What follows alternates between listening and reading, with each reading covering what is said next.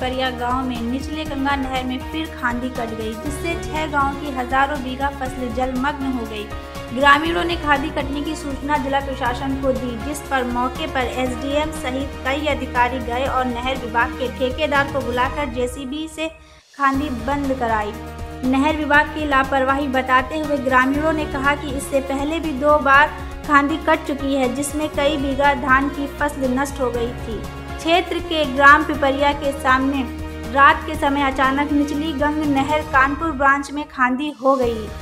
सुबह जब ग्रामीण खेतों की ओर पहुँचे तो खेतों में झील जैसा नज़ारा दिखाई दे रहा था। खांदी कटने से सैकड़ों बीघा गेहूँ, आलू व सरसों की फ़सल जलमग्न हो गई। जिला पंचायत सदस्य ब्रजेश खटिक ने जिला प्रशासन को अवगत कराया तो मौके पर उप जिलाधिकारी मनसाराम वर्मा सीओ श्रीकांत प्रजापति धनाध्यक्ष राम प्रकाश पांडे व नहर विभाग के कई जेई मोहम्मद शहीद शहीद कई अधिकारी मौके पर पहुँचे। जिलाधिकारी जगदीश प्रसाद ने इस मामले जानकारी देते हुए पीड़ित किसानों की मदद किए जाने की बात कही।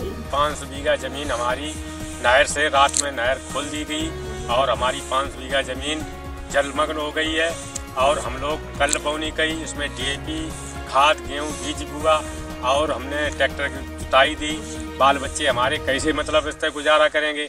हम तो बिल्कुल बर्बाद हो गए हैं। हमने जेपीसी अपनी किराए पे मंगवा करके हम गाँव वालों ने मिल करके उसको मतलब हमने खंदी बंधवाई और फिर भी अभी खंदी मेरी बंद नहीं पाई फिर भी अभी खंदी चल रही है। कल रात के 12 बजे के बाद में नार आई और नार जो आई है वो लगभग डेढ़ हाथ संतर से ऊपर आई है।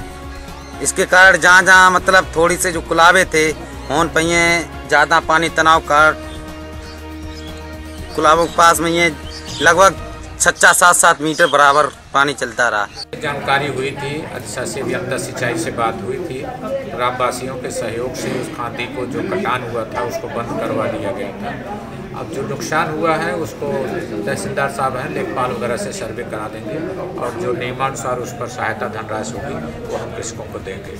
अब खादी कटने का कारण जो विभाग ने बताया था कि नरौरा से ज़्यादा पानी एकाएक छोड़ दिया गया था, ओवरफ्लो के कारण जो है, और चूँकि इस समय आवश्यकता उतनी पानी की नहीं थी, लेकिन अधिक पानी आ जाने के कारण ओवरफ्लो हुआ, जिसके कारण नहर कटी।